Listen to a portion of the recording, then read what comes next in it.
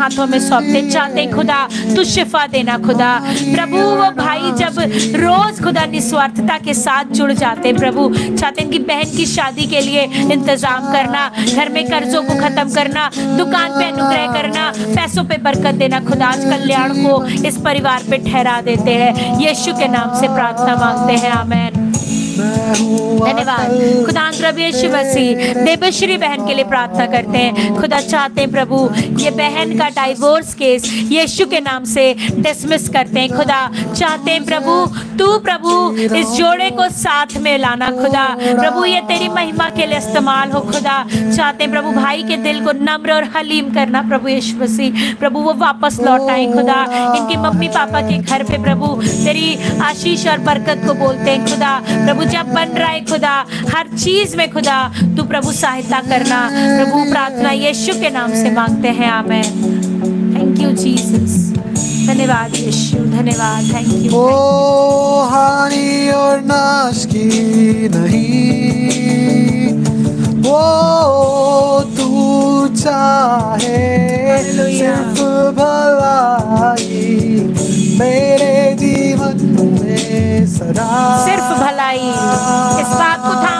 थाम सिर्फ़ भलाई ओ,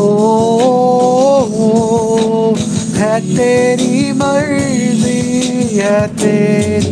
खुदा प्रभु यीशु मसीह, निरल भाई को आपके हाथों में सौंपते हैं। खुदा, जब वो चाहते हैं, उनका घर बिके। खुदा, हम नहीं जानते क्या परेशानी है, खुदा। लेकिन यीशु के नाम से हम कहते खुदा, तू इंतज़ाम करना प्रभु।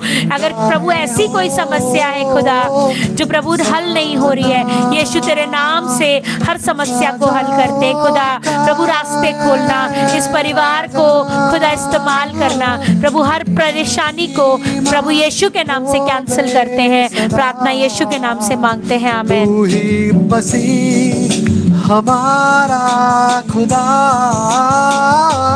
खुदा प्रभु यीशु मसीह बहन सीमा को तेरे हाथों में सौंपते खुदा। चाहते प्रभु तेरी निज प्रजा में गिनी जाए खुदा।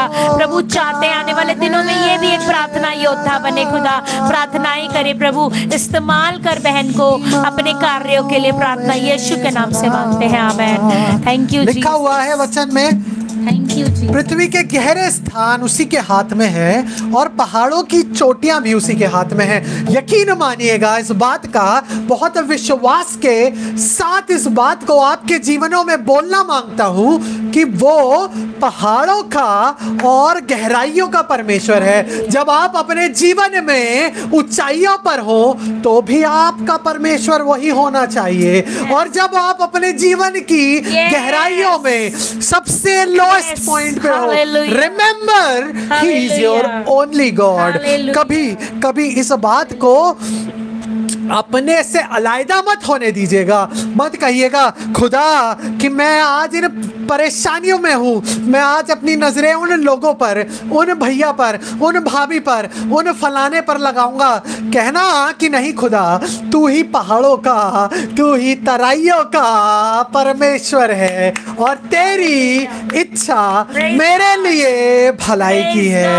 कहने लगा समुंदर उसी का है और उसी ने उसको बनाया है और स्थल भी उसी के हाथ का रचा है। कहने लगा आओ हम झुक कर उसको दंडवत करें। वो राजाओं का राजा हर एक महिमा के आदर के योग्य है। अगर आज चाहते हैं मैं नहीं जानता आप किस अवस्था में प्रार्थना कर रहे हैं। आप अपनी जॉब पर हैं अपने घरों में अपने ड्राइंग रूम में बैठे हैं अपने बेडरूम में बैठे हैं अगर आज आप चाहते हैं कि वो आज तख्त उसका विराजमान हो आपके घर में आपके परिवार में तो आज का वचन कहता है आओ हम झुक कर झुक कर कर। उसका दंडवत करें मैं चाहता हूँ आज आज इस काम को हो जाने दीजिएगा आज अपने मैं को मारकर Hallelujah. झुक जाइएगा. झुक जाइएगा झुक जाइएगा कहिएगा कि खुदा मैं आज तुझको दंडवत करता हूँ और कहता हूँ आज कल और अबद से लेके अबद तक का परमेश्वर तू ही है। तू ही है और तू ही रहेगा। जुड़ है नहीं है। आज खुदा आपसे कुछ बोलना चाहता है। वो ऐसे आके नहीं बात करने लगेगा आपसे। खुदा हमेशा वचन से बात करता है और आप